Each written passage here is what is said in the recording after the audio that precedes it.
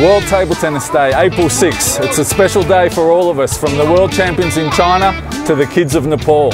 We want everyone to come, make an event, make something fun. Doesn't have to be at a national level, can be in your school, in your club, can be anything, but make a program for World Table Tennis Day.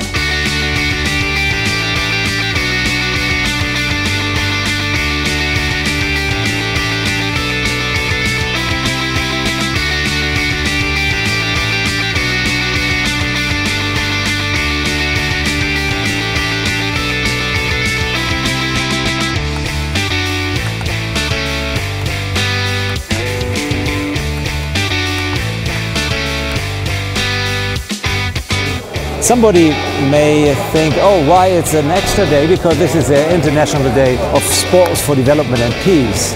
But I think if more and more federations and more sports organizations support us to celebrate this very special day, maybe in five or ten years we have a real big thing. Let's make it better, let's make it stronger, that everybody participate in this very special day to use sport as a tool for development and peace.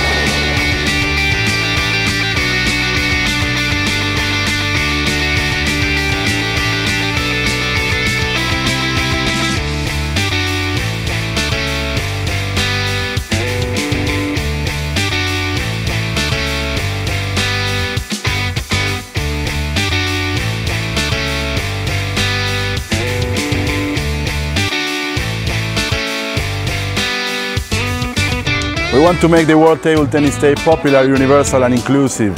And we want to involve the National Table Tennis Association, the National Olympic Committees, the big clubs, everyone. But not only them, also to include the minority groups, such as the people with disabilities and the women, the elderly, uh, refugees or immigrants, uh, any minority group to be involved and everyone to practice uh, table tennis. And it's not only about the competition, it's also about having fun.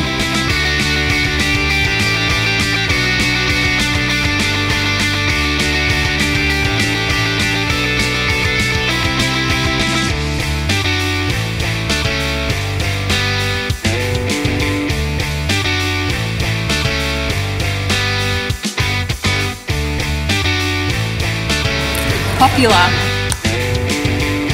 Universal. Inclusive. Come, join us, play table tennis.